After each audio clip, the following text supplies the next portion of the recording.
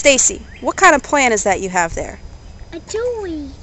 And what does jewelweed do? It takes mosquitoes away and takes poison ivy off. It takes away the itch? Yeah. Can you eat it? No, you have to cook it four times. Good job, sweetie.